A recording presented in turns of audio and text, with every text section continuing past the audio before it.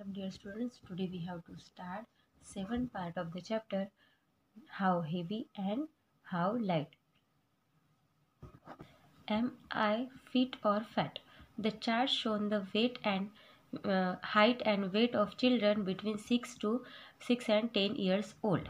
यहाँ पे चार्ट में नेम तेमिशुला उसकी एज दी है उसकी हाइट और उसका weight three feet seven inches and weight दिया है सिक्सटीन के जी श्रीकुंत, उसका एज है टेन एंड हाइट है four feet three inches weight है twenty three K G Rabia six है एज उसकी और three feet ten inches height and seventeen K G weight Vineet है उसकी एज एट है एट ईयर्स और height three feet eleven inches weight है nineteen point five K G and Kavita उसकी age है nine and height three feet ten inches and weight is twenty K G now you also fill the table by finding out the age, height, and weight of any five friends.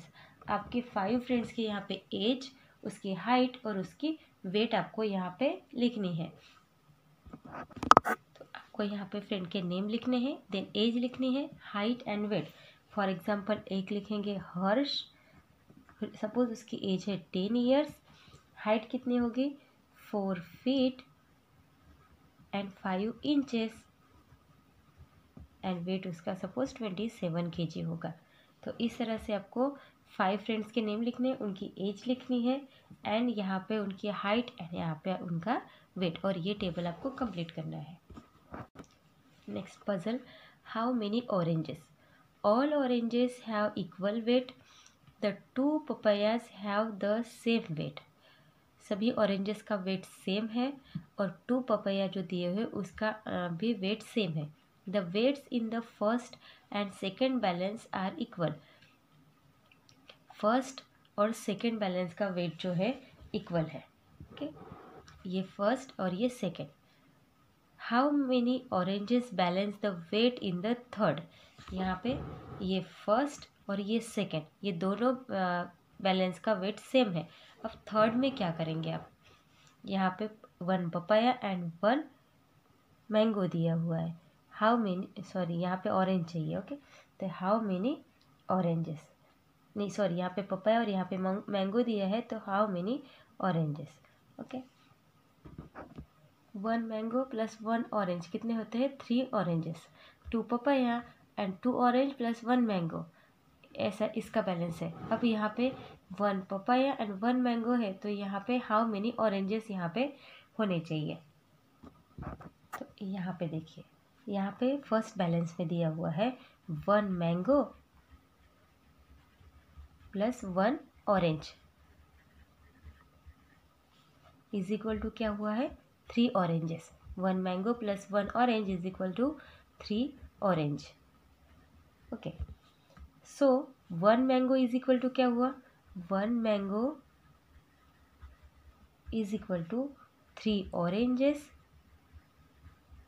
minus ये one orange one orange one mango is equal to three orange minus one orange is equal to two orange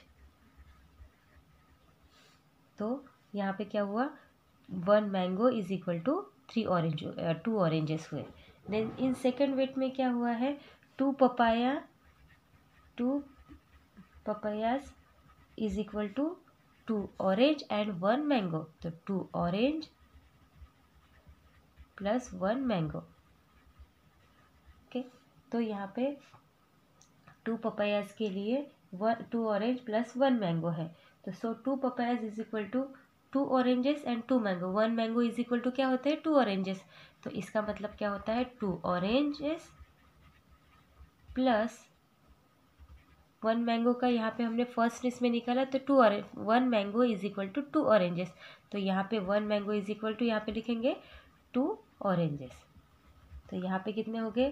Two papayas is equal to two oranges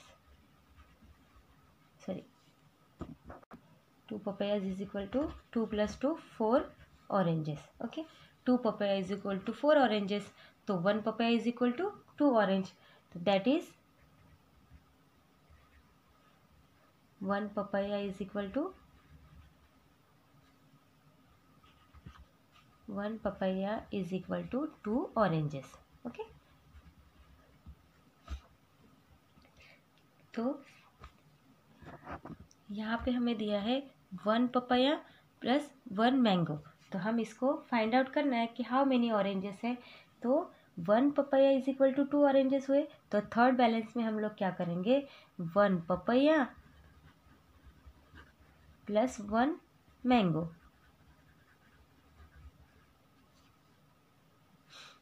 क्या होगा? One papaya plus one mango is equal to one papaya मतलब two oranges plus and one mango is equal to two oranges two oranges तो कितने हो जाएँगे? One papaya plus one mango is equal to four oranges okay तो यहाँ पे आएँगे four orange okay तो यहाँ पे four oranges will balanced the weight in the third then next है फाइंड दैट मार्बल आपको यहाँ पे मार्बल फाइंड करने हैं। There are three marbles of the same size but one marble is slightly heavier और lighter than the other two three marbles है same size के, पर उसका वेट कैसा है? वन एक मार्बल उसमें से थोड़ा सा हेवी है और lighter than the other two दूसरे में से स्लाइटली हेवियर और lighter than the other two can you find which is that marble and if it is heavier or lighter, you can use a balance only two times. Three marble में से one marble जो है, ये heavier है या light है। तो ये आपको फाइंड आउट करना है and you can use a balance only two times आपको टू टाइम्स बैलेंस यूज़ करना है थ्री मार्बल के लिए। आंसर में हम लिखेंगे।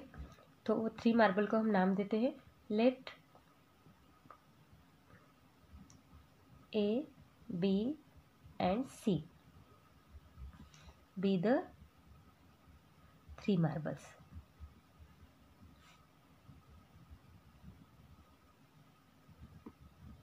ओके उसमें से एक क्या है?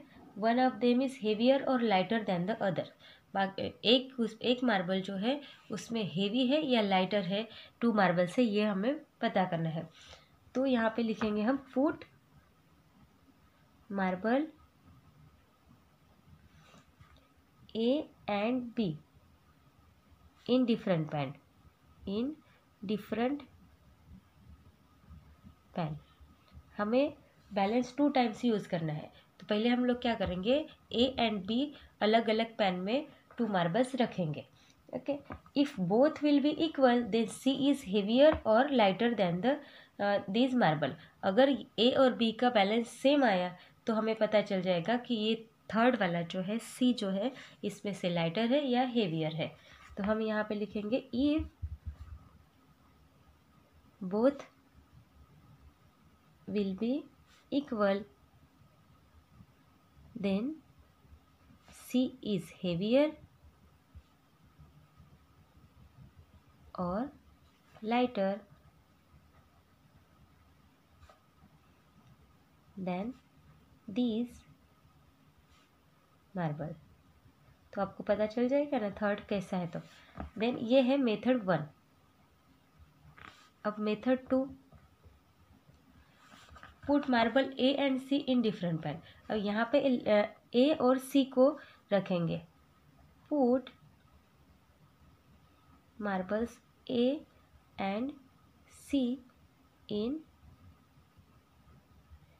different pan यहाँ पे भी if both will be equal then B is heavier और लाइटर तो यहाँ पे if both with be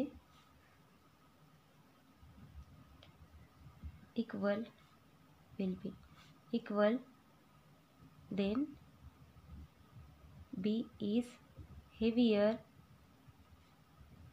और लाइटर